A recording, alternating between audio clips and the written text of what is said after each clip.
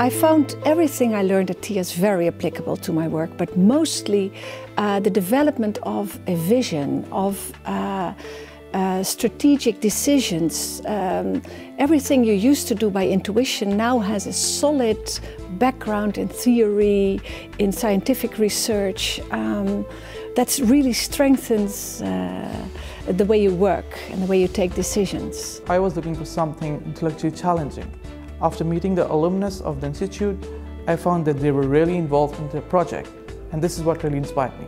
The content, it was a very good mix between um, what was offered to me in the lectures and in the books and in the literature and what the people around me told me. So not only were they challenging me, they were educating me. It really accelerates my career and also my personal development.